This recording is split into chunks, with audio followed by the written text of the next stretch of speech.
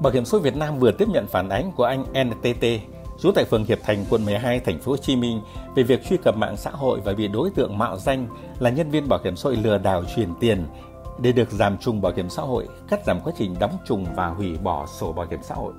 Theo phản ánh của anh T, anh đã cho em trai mượn hồ sơ nhân thân của mình để đóng bảo hiểm xã hội. Ngày 11 tháng 6 năm 2023, khi có nhu cầu gộp sổ bảo hiểm xã hội, cắt giảm quá trình đóng trùng bảo hiểm xã hội, anh T truy cập mạng xã hội Facebook và gửi tin nhắn trên Messenger với tài khoản có tên Phạm Ngọc Anh. Hiện đối tượng này đã khóa tài khoản, mạo danh là nhân viên bảo hiểm xã hội hỗ trợ tạo nộp và giải quyết các loại hồ sơ bảo hiểm, hứa sẽ giải quyết được hồ sơ của anh T. Tài khoản Facebook Phạm Ngọc Anh yêu cầu anh nộp phí giảm trùng bảo hiểm xã hội với số tiền là 900.000 đồng và cung cấp thông tin cá nhân để làm hồ sơ. Sau khi anh T cung cấp thông tin cá nhân, ảnh chụp căn cước công dân và sổ bảo hiểm xã hội, đối tượng trên có gửi cho anh T hình ảnh tiếp nhận hồ sơ. Sau khi kiểm tra hồ sơ, anh T đã chuyển 900.000 đồng vào tài khoản Trần Ngọc Hà, số tài khoản 39125565559, ngân hàng MB Bank. Nội dung chuyển tiền ghi phí dịch vụ bảo hiểm xã hội. Ngày 14 tháng 6 năm 2023, đối tượng này tiếp tục yêu cầu anh T nộp thêm 2 triệu đồng với lý do đây là phí thanh tra hồ sơ để hoàn tất thủ tục. Ngày 15 tháng 6 năm 2023, anh T nhắn tin hỏi kết quả thì đối tượng đã khóa tài khoản và khi nhắn tin lên fanpage của ngành bảo hiểm xã hội Việt Nam, anh T mới biết mình đã bị lừa.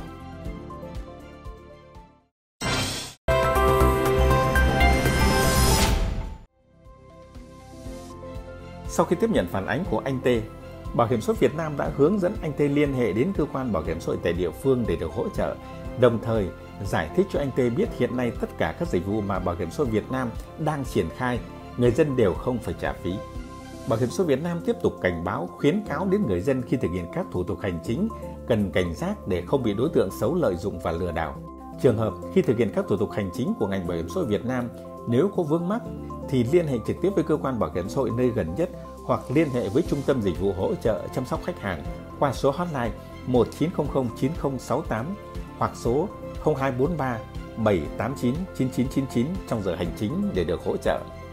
Hiện nay, Bảo hiểm xã hội Việt Nam chỉ có một trang fanpage đã được cấp tích xanh của Facebook tại địa chỉ http www.facebook.com bảo hiểm xã hội gov vn người dùng cần lưu ý để tránh các trang giả mạo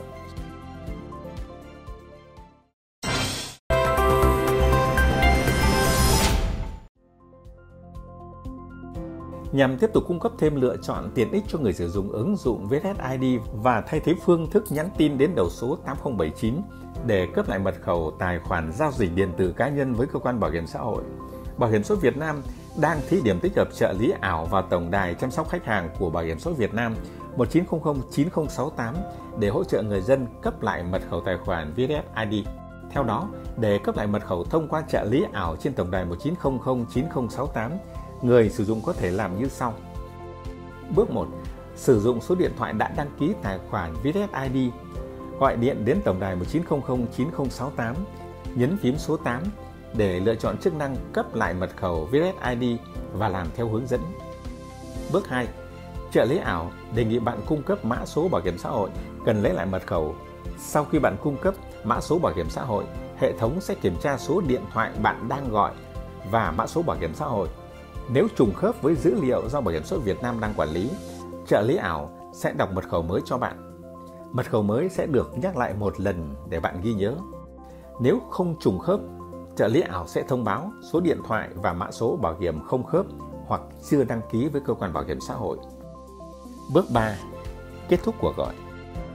Lưu ý, cước phí gọi đến tổng đài 1900 9068 là 1.000 đồng trên phút.